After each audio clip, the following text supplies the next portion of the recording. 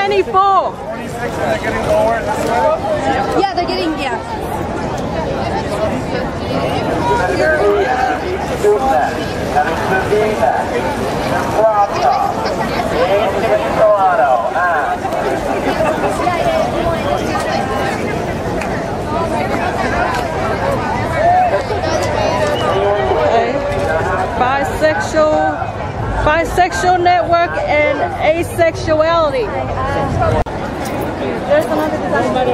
There is. And you're from Brock University's Human Sexuality Research.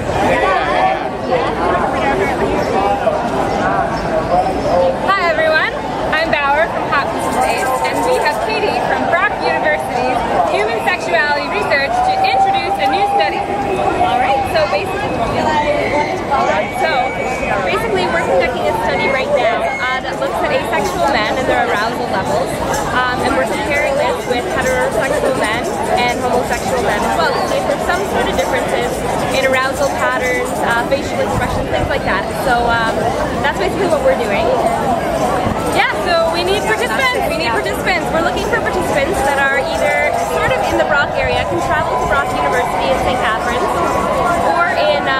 um, and can travel to UBC. Um, and we're looking for participants that can come within the next few months um, and participate. And they're compensated $50 for participation and travel expenses. So, yeah, great. So come participate. We really need it. All right, thank you. Okay, thank you. Thanks for watching. If you guys are. Dance for the camera, possibly.